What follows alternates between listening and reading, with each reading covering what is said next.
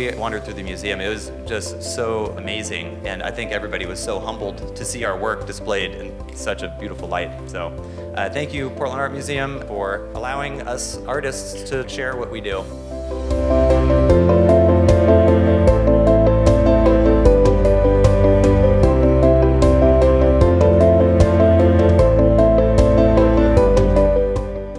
One of the biggest issues I ran into is that the tours we gave were only an hour long, and there was so much wonderful art from the Wyeth family. There was just so much to look at, but we were really limited in what we could show them in an hour.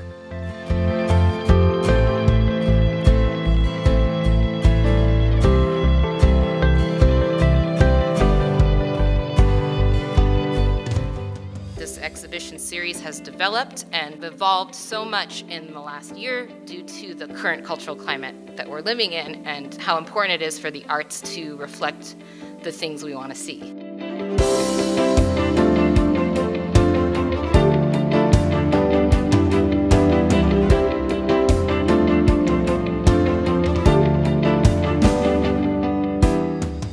The exhibition here opens the doors of the museum, trying to invite the broader community within that space, not isolating art, but rather asking art of its um, strongest and most compelling ability to traverse the lines, to establish modes of communication that I find extremely heartening.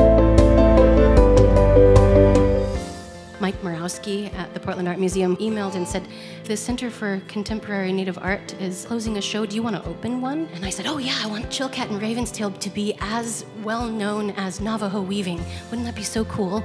So that was my aim, and I didn't realize that it really would reach so far.